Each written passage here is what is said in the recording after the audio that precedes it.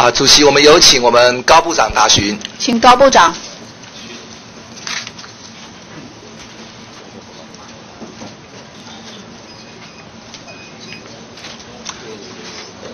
刘院长，哎，部长早哈。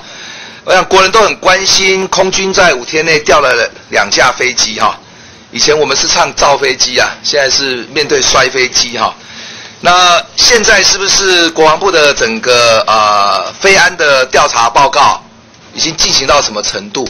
也正在进行。最重要的是，我们还要打捞定这个黑盒子的位置，因为基本上我们这一次呃，我们三位飞行员都能够平安的降。这个跳伞，所以对我们耳后调查它的真相是有帮助的，比较有帮助。所以我们发生这种事情都非常的痛心。对，对这个事情我们会严格的去检讨原因，会把这个最后的这个噪音的分析会向大家做一个报告。好，不过这个目前我们正在执行当中。是 F 十六的黑盒子有打捞到幻象还没有？都还没有打捞，都还没打捞。定位定到了。哦，因为 F 十六是定位到，那幻象是定位都还没有。找到，两个都定到了，都定到了。一个都在这个，有的在这个两三百公公尺以下，好，四百公尺，一个九十，一个在九十的比较幻相机的比较浅，比较容易做。这个部分我们都会这个立刻去执行打捞的工作。的，就是计划哈，是多快的时间内要打捞完成，然后要来就是呃对这个比较完整的飞安调查报告能够来做完。报告真正的完成任何一个呃。空安事情的发生啊，我们这个调查绝对不会讳疾忌医啊。我们这个调查小组除了我们自己以外，我们会请这个呃学界或者是这个呃民航局相关的专家。有没有一个目标时间？就是说你们希望比较集中在，我想黑盒子已经定位到了嘛，这个最关键的嘛。全世界任何一个飞安的调查时间都不能够预期在用短时间。一般都多久？有的是蛮过去的例子，最少半年了，最少半年。那那部长讲的比我预期的还更短了。我本来是想一年。哎，对了，是。那我就去努力了啊！我觉得在半年内，因为这一次因为飞行员哈，这个啊安全嘛啊，然后黑盒子已经定位到，啊，我想是希望半年内啊，是能够把这个事情整个都理清。因为当然，因为 F 十六跟幻象也涉及到我们跟美国、法国这些原厂有没有通报，或有没有啊也采取调查。的行动啊，呃，在这方面有期待都有参与，有有通报了嘛？啊，有有都有通报。那他们的角色是什么？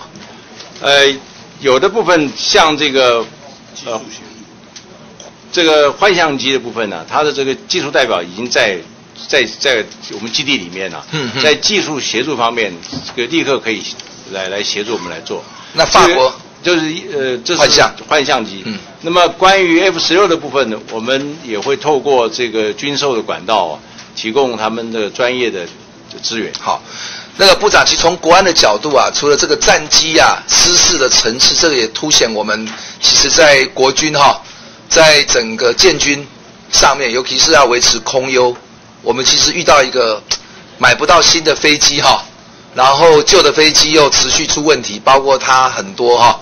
我想这个年限有些也逐渐到，那么这样的一个情况哈，就涉及到你们很多建案。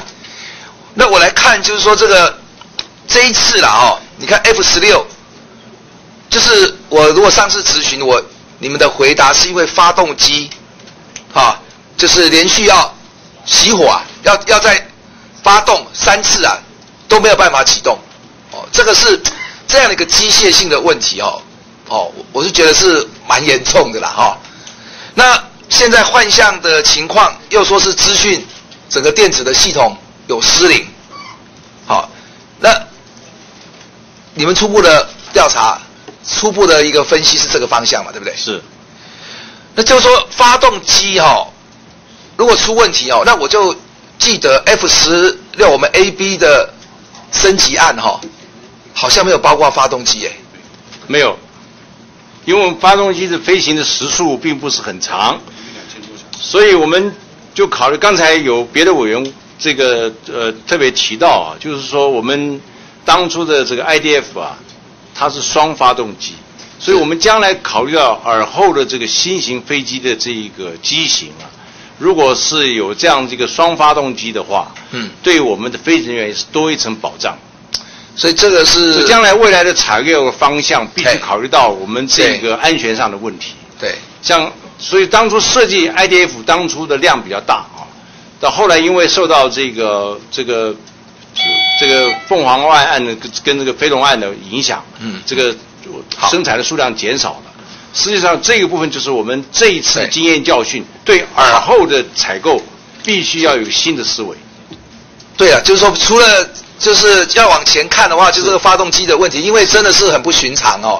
所以说，如果就发行人讲，会觉得他这个哈启动了三次都没有办法点火哈。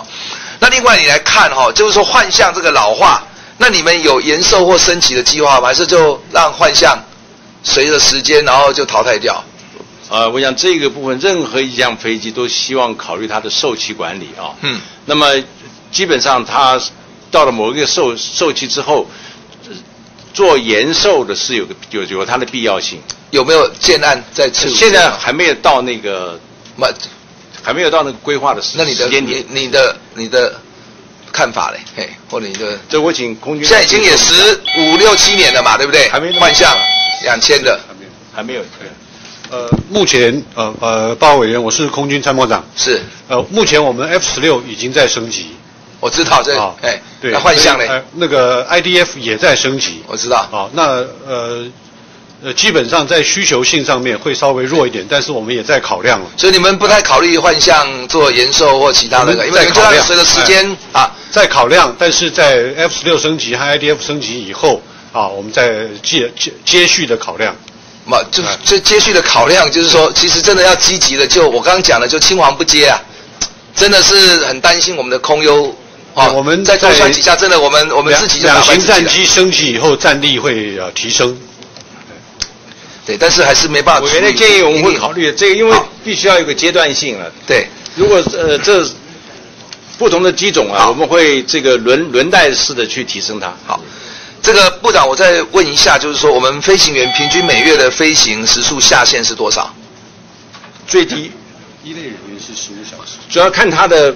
飞行的这个类别，我讲下限至少最第一第一类最少要十五小时。好，就空军部队飞行训练的一些规定嘛，哈。是。现在就是说这个数字哦，相对于对岸哈，国防部知不知道？像比如解放军歼十啊，哦 J 十这个或苏凯三十，哦 SU 三十的这个飞行，你知道他们一个月飞行时速是多少？他们现在大概是十二小时。我想我们的基本资料啊，好像好比他略多一点点。我们比他略多吗？略多一点点。哦，我们空军参谋长是，你有详细的资料吗？因为你这个会后提提供委员参考，好不好？不，这个没有什么情太大的机密啊。我你们你我们十五小时还比他们多就对了。这个对我们十五小时比他略多，他刚才告诉我的这个数据，详细的我想会提供你书面资料，好吧？好，因为十五小时说实在是这是 mini 码，这是太少了啦。